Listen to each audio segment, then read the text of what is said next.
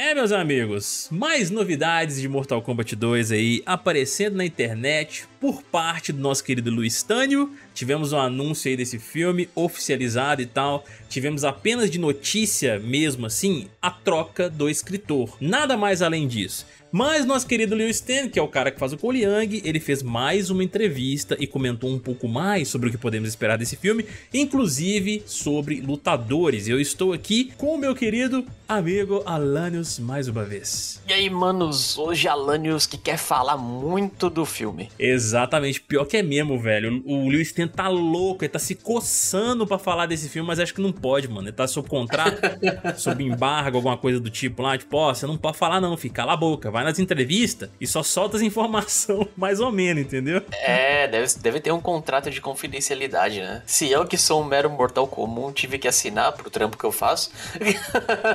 pois é, cara, exatamente. Então, meus amigos, a gente vai comentar sobre essa entrevista aqui com vocês, trazer alguns pontos, tá? Então já deixa o seu likezinho, inscreve no canal, ativa o sininho para receber notificação dos próximos vídeos, beleza? Vamos lá, Lani, deixa eu trocar aqui pra tela onde nós temos essa entrevista do Lewis Stan e alguns trechos aqui onde ele fala sobre o filme e a gente vai passando por eles aqui e a gente também vai comentando em cima e dando a nossa opinião acerca disso. Vamos lá. Primeiro de tudo, aqui é uma introdução à notícia, entendeu? Para o site 2Fab e aqui começam os trechos onde o Lewis Stan fala sobre o filme, entendeu? As expectativas dele e tudo. Primeiro de tudo, ele começou aqui assim, Alanios. Você ainda não viu nada. Você ainda não viu nada. Estamos apenas começando a construir este mundo, disse o ator. Essa foi apenas a introdução, ele falando do Mortal Kombat 2021. Há muito o que fazer nessa franquia Mortal Kombat, o mundo Mortal Kombat, os personagens. Estamos apenas começando, isso não foi nada. Essa foi a introdução, espere até ver o que vamos fazer a seguir. Então assim, o que ele tá querendo botar ali pra gente é, Mortal Kombat 2021 foi apenas uma introdução e ele falou que, pô, vocês não viram nada ainda. É, realmente a gente não viu nada, porque a gente queria o torneio e não apareceu. É, exatamente. Mas nós vimos um Sub-Zero boladíssimo lá, que foi top. Boladíssimo. Exatamente, cara. E aí, ó, só dando sequência aqui pra gente poder entrar num ponto que é bem interessante do que ele fala. Enquanto o ator disse que é claro, ele comenta acerca também aqui dos lutadores que vão aparecer no próximo filme. Vamos pro trecho onde ele menciona isso daqui, ó. Quando o filme terminou, nós conversamos sobre quem queríamos ver. Eu quero ver Kitana, eu quero ver Smoke, eu quero ver Nightwolf. Ele brincou, antes de acrescentar. Obviamente, nós queremos ver Johnny Cage. E eles ainda comentam na matéria que o Mike Mizanin é um dos favoritos dos fãs para poder interpretar o personagem. Bosta nenhuma, não, tem, né, não é isso não. Não é nunca. Demis, não.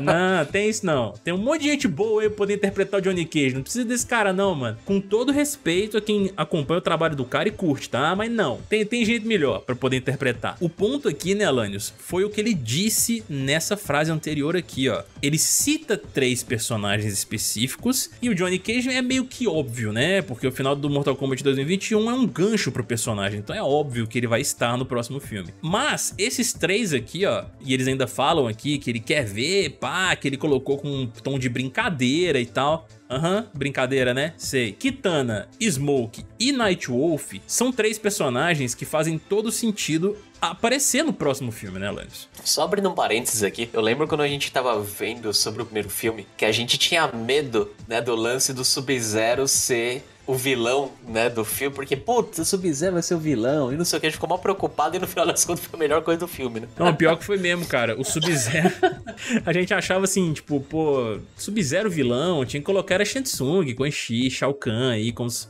principais vilões da parada. E aí eles colocam o Sub-Zero como principal antagonista, que percebe o Koliang lá no filme inteiro e tudo mais, por conta da linhagem dele também, né? Mas acabou realmente sendo uma das melhores coisas, se não a melhor coisa do filme, e o cara não fala nada ainda. Só fica rosnando, só fica. Hum.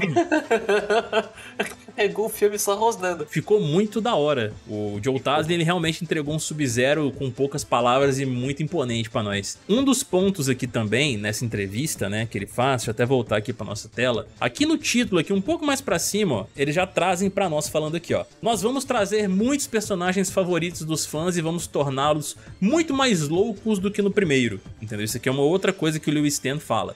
Esse é um outro ponto, além desse aqui embaixo, desses três personagens que ele cita, que é muito interessante também e muito importante deles trazerem, porque Teve um vídeo recente aí que a gente fez aqui no canal falando sobre o filme, onde a gente fala disso, né? Que como vai abordar o, o, torneio, a gente acredita no próximo filme, né? Porque não tem como eles enrolarem mais. O primeiro já foi muito massacrado por não ter esse torneio. Eles têm que trazer personagens muitos personagens, inclusive favoritos dos fãs realmente pra, pra parada, entendeu? E eu só espero, né, Alanis, eu tinha até comentado isso no outro vídeo, que eles trabalhem bem, obviamente não vai dar pra poder dar um background muito aprofundado pra todo mundo, porque é muita gente que eles têm que colocar, mas que pelo menos eles não tenham um fim tipo Nitara, que aparece ali por alguns segundinhos só de tela e acaba morrendo e já era. Esses personagens que o Lewis Stan cita, inclusive, né, Alan? Não sei o que você acha. Eu acredito que eles vão ter um espaço maior dentro do filme junto com Johnny Cage, tipo Kitana, o Nightwolf e tal ali. Eles devem ter um espaço legal no filme, porque eles são personagens fodas e importantes. Eu acho que Mortal, o filme, né, do Mortal Kombat, ele é o filme 2, né, tá na mesma situação do Street Fighter 6. Ele tem que se provar. Tem muita gente que tá ressentido com primeiro filme, porque esperava alguma coisa mais que não foi entregue e tudo mais. Então ele precisa se provar, ele precisa chegar e falar: Ó, eu não sou o primeiro filme, eu sou isso aqui. E é daqui, é daqui pra frente que a, que a história começa mesmo. Naturalmente que eles devem dar mais tela para personagens que não apareceram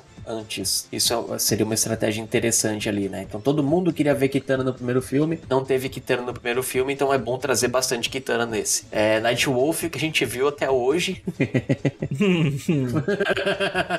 é. Foi no, no Mortal Kombat Aniquilação, ó. O cara que tá com uma machadinha na cara do Liu Kang e tchau. Que digas de passagem é uma das cenas mais legais do filme, porque ele vem transformado em lobo, mano. Mostra uma animalidade da hora, assim, sabe? É a hora que ele destransforma, assim, tal, que daquela parte é. da hora, assim. E na questão do Smoke, né? Caramba, Smoke é um negócio que é bem muito interessante porque onde tem Smoke tem Sub-Zero, né? É, Smoke cheira com a Young, né? Então, olha só. É, Smoke cheira com a Young, tá bom. é porque eu pensei numa outra, numa outra parada aqui, do jeito que você falou, mas tudo bem. Com a Young não vai cheirar o Smoke, coitado, senão ele vai morrer. Vai sair tossindo ali, vai encher o pulmão dele de fumaça, não vai ter jeito não.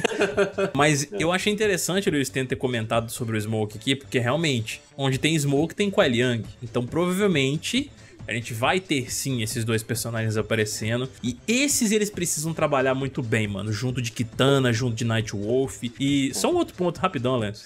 Antes da gente encerrar. Eles colocam aqui na matéria uma parada que a gente já trouxe em vídeos pra vocês, que é isso daqui, ó. Ryan Reynolds, aquela montagenzinha, né? Da hora lá que eles fizeram com ele, Johnny Cage e tal. Cara, eles ainda não anunciaram Johnny Cage. Eu acho que vai levar um tempo ainda pra eles anunciarem o roster. Ou não, né? O roster do filme, no caso. A gente tá tão acostumado a falar roster de jogo, mas roster de filme. Cara, seria uma surpresa muito da hora se eles trouxessem o Ryan Reynolds como Johnny Cage. O cachê do cara ia ser um pouco mais alto, beleza, porque o cara ganhou muito, faturou muito em Deadpool. Mas que seria foda ele de Johnny Cage? Isso seria, né, Alan? É, eu acho que como o, o perfil do Johnny Cage ali, é, Ryan Reynolds... Ryan Reynolds? Tudo errado aqui. Ryan Chuvas. Ryan Chuvas. Ryan Reynolds, né? Tipo, Ryan Chuvas Velhas. É. Senhor Jesus Cristo. o Ryan ele seria um ótimo Johnny Cage, assim. Acho que ele encaixa na personalidade. E eu acho que ele traria um Johnny Cage ainda mais legal do que o que a gente tá acostumado. Ele estabeleceria um novo padrão de Johnny Cage sem perder as características do personagem. Eu acho que seria muito legal também. Contudo, eu ainda quero ver o mano lá dando porrada nos outros, entendeu? Vocês sabem de que eu tô falando. Scott Adicão lá, ó. Poica. Exatamente, pô. Ele seria da hora mesmo. A gente vai ter que esperar pra ver, né? Eles já deram uma dica no podcast do Scott Adkins lá que ele fez com o Joe Taslin. cara falando que ele tinha que voltar, que não sei o que. Vamos ver, vamos ver o que, que o futuro nos reserva aí. E agora a gente quer saber de você, querido espectador que está assistindo agora, o que, que vocês acharam disso daqui, cara, que o Luiz Tânio trouxe você aí pra gente nessa notícia, sobre trazer muitos fan favorites aí pra esse novo filme do Mortal Kombat, lutadores no caso que o pessoal gosta bastante. Ele ter citado ali Kitana, Smoke, Night Wolf, eu acho que já é um indicativo sim desses três personagens estarem no filme, porque poxa, acho que faz acho que não faz o menor sentido eles não estarem, ainda mais para as proporções que esse novo filme vai tomar. Então deixem aqui embaixo suas opiniões sobre isso, a gente vai adorar ver e não se esqueça novamente de deixar o seu like, se inscrever no canal e ativar o sininho para não perder notificação dos próximos vídeos. Vamos ficando por aqui. Um beijo para todos vocês, até mais. Vamos!